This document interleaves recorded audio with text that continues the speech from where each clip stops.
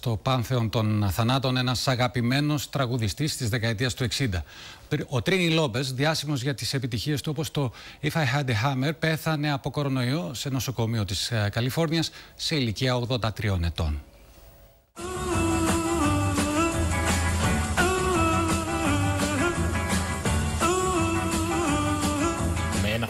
Τραγούδι που όλο στηρίζεται σε ένα υποθετικό ερώτημα, το If I Had a Hammer and a Nail, μεσουράνησε στη δεκαετία του 60.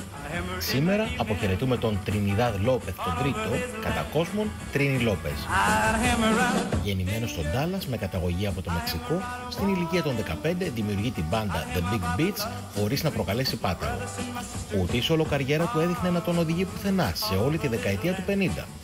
Το 1963 η γνωριμία του με τον θρύλο και στη συνέχεια μέντορά του Φρανκ Σινάτρα ήταν αρκετή για να γραφτεί το όνομά του με χρυσά γράμματα στην ιστορία της μουσικής.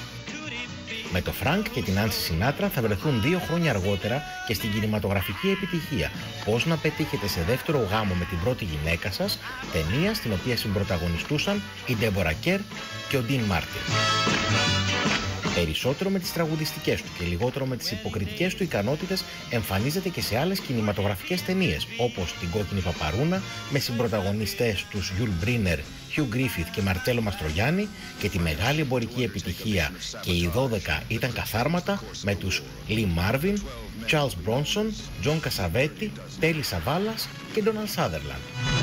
Γράφει επίσης τη μουσική σε soundtrack κινηματογραφικών ταινιών, ενώ πολλές μεγάλες επιτυχίες του εντάσσονται ακόμα και σήμερα σε σύγχρονες κινηματογραφικές ταινίες.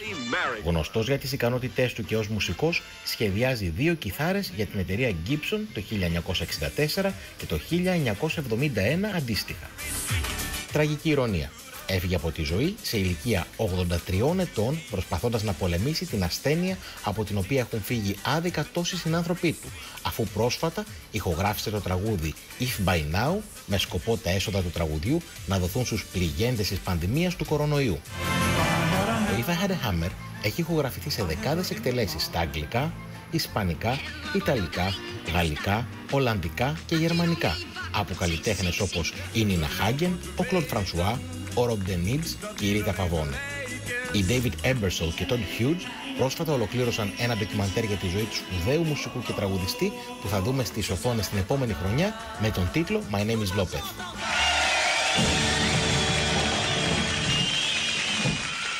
Μικρή διακοπή και σε λίγο η αθλητική σας ενημέρωση με την Μαρία Παπαδοπούλου.